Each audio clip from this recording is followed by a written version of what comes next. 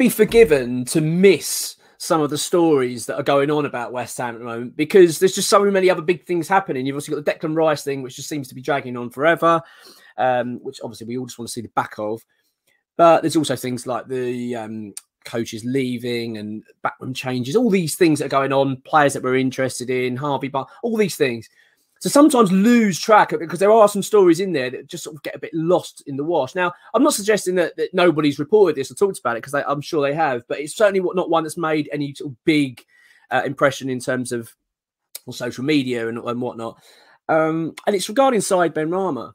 So last week, The Guardian put out an article, and it was Jacob Steinberg, who's very respected um, West Ham fan. He's one of those journalists, like along with Ex and a few others, Fabrizio, and that that you trust. If, if they're going to say something and report something, you tend to lean towards the fact that yeah, that's that's probably a credible story. Um, and it was a strange one because it was it wasn't a main story about Benrahma. It was actually a story about Harvey Barnes and talking about his you know Newcastle United being keen on him and West Ham being keen and all that kind of stuff. And but what it did, it wrote within that story it had a comment about Benrahma. It was very interesting. As I say, it wasn't the whole article wasn't based around this, but it, as I said, it comes from Jacob Steinberg, which gives you kind of gives it a little bit of credibility and, makes you take notice. And basically, the, the story was it said that that, that actually Ben Benrahma would, would actually tempted to, to move on and, and seek a new challenge elsewhere in his career. It's a strange one, actually. I, I do find that a bit odd. I, and I'll tell you for why. The reason I find it a bit strange is because one, the timing it's no secret that David Moyes has had trust issues with Benrahma since day one. There's, we've known that as fans. We've seen it time and time again. When we've ever had a problem, but Moyes has called out Benrahma. He's been dropped lots of times. You know, we've just seen it so many times. I've even you can watch, go games and see how frustrated he gets with the player. So I actually felt that probably the end of last season, not the season, sorry, not the season just gone, the season before that, um, when we qualified for the Europa Conference League, uh, when we finished seventh, I thought that would be probably the time that Benrahma might want to seek a move because the, the, trust just wasn't there for the manager as far as I'm concerned. I, I, couldn't imagine him being overly happy being at the club. So I was obviously pleased to see that he wanted to stay on. And let's be honest, last season was his best season he's had at West Ham. He had a massive impact um, across the board in, in big matches, in big moments. And he was relatively consistent. I know he's not the most consistent player, but he was better. Let's get that right. I've, I have said about a couple of times on, on here that I do find him frustrating in that he seems to be the play better when the team are playing poorly. He sort of stands out. He looks like a shining light when we're not doing very well. But then when we're actually playing quite well, it's when he seems to not perform as well. That's just sometimes how I'd see it. Maybe I'm being a bit harsh. Feel free to let me know. But um, as I say, it's an odd, it's, it's odd timing this now because let's just let's just take this as, as if it's true. Let's just say, yeah, this is this is what's going to happen. Benrahma's looking elsewhere. He's thinking about a new challenge this this summer. Well, as I said last season, the season before, summer before, you'd expected that might I'd have probably bought that more. I'd have probably thought, well, yeah, I kind of get it. If I was in his shoes, I might be thinking, you know what, this isn't working under David Moyes. I want to move on.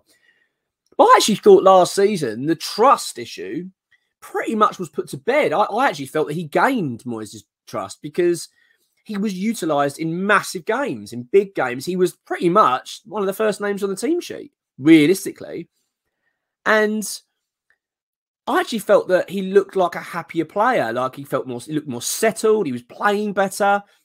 As I've said, the trust with the manager was there.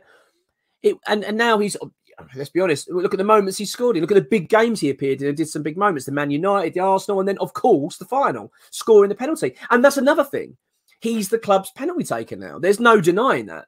He is our best penalty taker. He has cemented that position at West Ham. And if I was him, I'd be thinking, well, that, that could be 10 goals a season for me, pretty much. You know, I'm guessing, I'm not sure how many penalties you get a season. Let's call it 10. I don't know the average. That's straight away in your bag, pretty much. And you'd be thinking, on, on top of the other goals you get, I mean, this is a big time for him as a player. So I find it strange that this would be the summer that you go, oh, I fancy a change. Um, I do find it odd. I, am not sure where I sit with it all, actually. The interesting part is, for me, though, is when you actually weigh it up, is it gives more credibility and probably not not so much credibility, more substance to the Harvey Barnes link. There's no doubt about it. West Ham are very much interested in Harvey Barnes. I'm actually convinced. This is just my gut. I don't know this for a fact, but I think once this Declan deal is concluded, which I, you know, as I recall this, it's Thursday. I imagine by Friday, Saturday, this is all going to be done. That you'll see West Ham make a big move for Harvey Barnes. That, that's what I imagine will happen.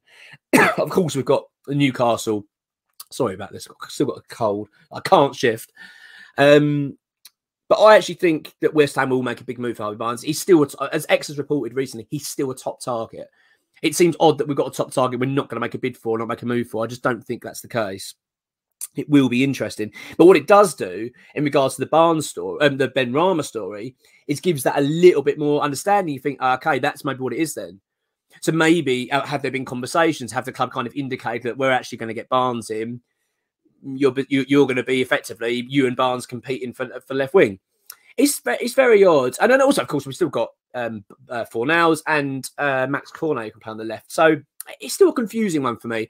But I mean, I'm still I'm a big fan of Harvey Barnes. I'd like to see him come in. But it does big if let's just say we do bring Barnes in, then the Benrahma story makes more sense, doesn't it? You kind of think, okay, ah, that's why he's seeking a new challenge. West Ham are going to offload him.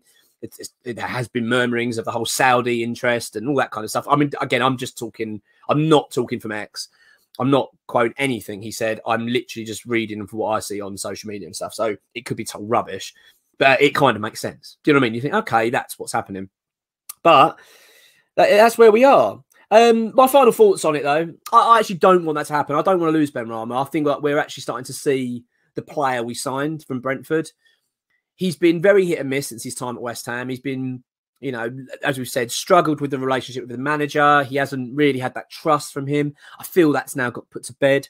So I would, I, you know, I and even if Barnes does come in, I still think Benrahma could do a job for West Ham. I really do. I'm not overly confident in Barnes now, personally. I think with Newcastle there anyway, I don't really see us getting him. That's just my gut now. Like, I just, I think if Newcastle are that interested, they've just got too much pull. If they're really that serious, I think the only way West Ham are going to get it is if they just outbid and put in so much more money. But that just isn't West Ham, is it? That's not what we do. If we value him at 25 million, we're not going to table 35 to get the deal done. That's just not how we operate whatsoever. So that's my gut feeling. I'd like to know what um, you uh, think of all this because as I say, I, am it's a strange position this season, the left wing. If, if, eh, many fans have come to me and said, I don't even know why we're talking about Harvey Barnes. And they're quite rightly so to say actually. I do think you're right. It's kind of like we're so sort of, we've got to get Barnes. He's a main target. We want to get him. But actually, a left wing's probably a, not, we're quite strong in that position at the moment. The argument will be, and this is what I'd like to get your thoughts on, is if, let's just say we do get Barnes, just to say we get him. And then you've got an option of, say, offloading a player. Who do you get rid of? For me, it's Max Cornet. I mean, as much as I still would like him to do well at West Ham, I haven't seen enough of him. I don't want to lose Fornals. I think he's too valuable to us. I think he's a, he's a good grafter. You, you, do need him in the big moments and tough games. Benrahma's proven to be a big player for us, and the big moments again, and the penalty taking, I, I think is invaluable. And then Harvey Barnes, who I really rate. So that, that that's where I would go if we were to get Barnes. Um, but yeah, I'd like to know your thoughts on it. Certainly be very interesting. But yeah, Benrahma future definitely up in the air at the moment.